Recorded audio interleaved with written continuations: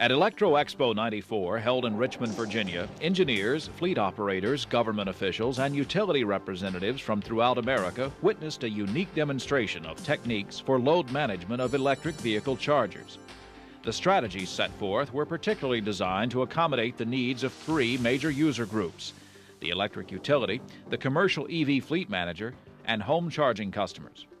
The demonstrations which follow illustrate design efforts underway to incorporate the necessary communication capabilities to the Magne Charge inductive charging system.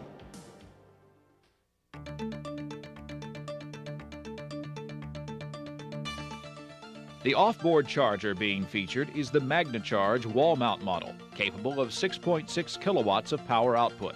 It hooks up on a standard house voltage, 240 volts, single phase.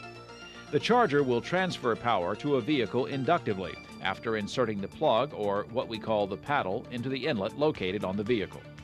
After insertion, a communications link is made with the vehicle to allow inductive power transfer to the vehicle's batteries. For the demo, an electric vehicle is simulated by a vehicle facade and the EV's battery pack with a tree of light bulbs. When power is transferred, the light tree will have DC current going through the light bulb filaments to represent a battery load. The brighter the light, the more power being transferred. The charger will display the current charge level of the batteries. To stop charging, simply pull out the plug or paddle. The process is simple and safe. In fact, you can pull out the paddle during full charging load with no risk of arcing. And because there are no metal to metal contacts, charging can occur in the rain with no risk of shock. It is totally safe.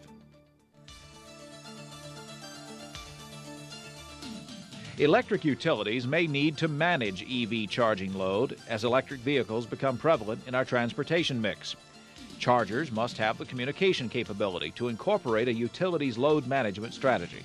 These strategies will require the charger to respond to remote utility control during peak load conditions.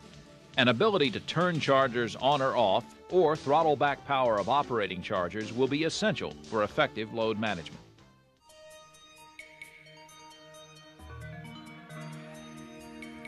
Here we have simulated what a console in a utility operations center may look like to remotely control chargers on a given circuit.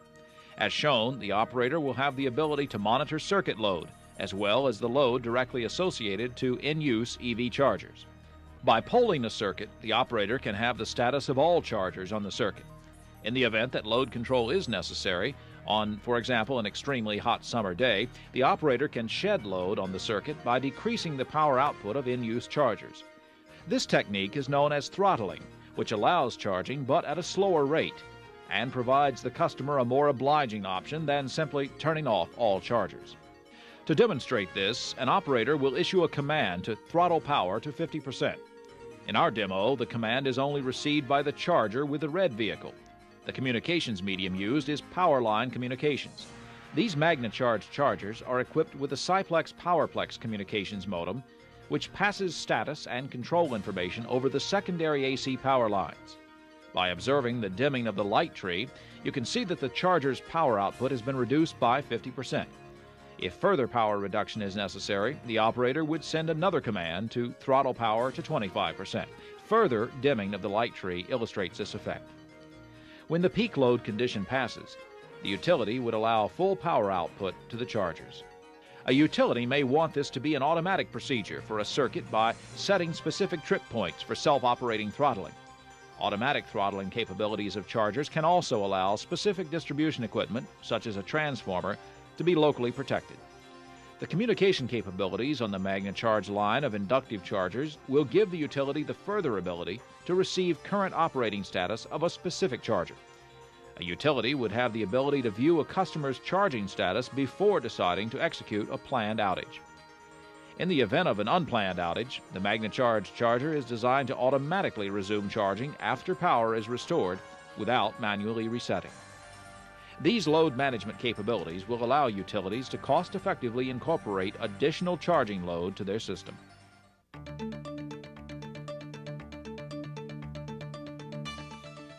The EV fleet manager will need the ability to control multiple chargers so that billing demands are minimized. Design is underway to develop a PC based software to control multiple chargers through Powerline communications.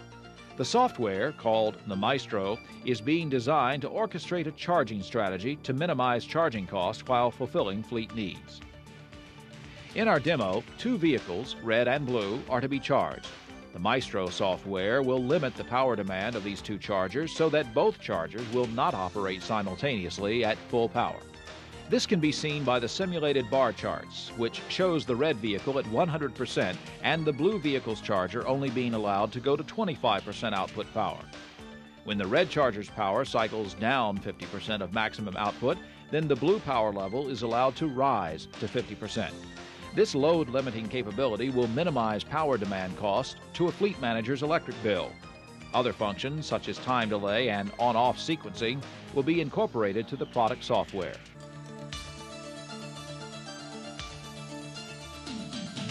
The private EV owner will need a convenient way to charge the vehicle at home during off peak periods. This can benefit the customer by taking advantage of reduced electric rates during off peak rates periods. The utility benefits because the home charging loads are shifted to off peak periods for which generation capabilities are more available. To accommodate home charging needs, a remote control device called the Charger Buddy is being developed. The Charger Buddy is conveniently located in the home and plugs into any AC outlet.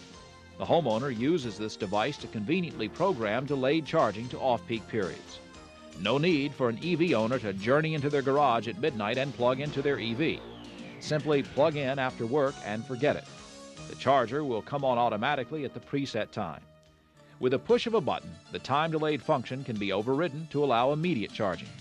This device provides the current charge level of batteries on its own display area and will allow preconditioning instructions for properly equipped EVs. Load management and the Magne Charge inductive charging system, designed to meet the needs of utilities, EV fleet owners, and residential home charging customers.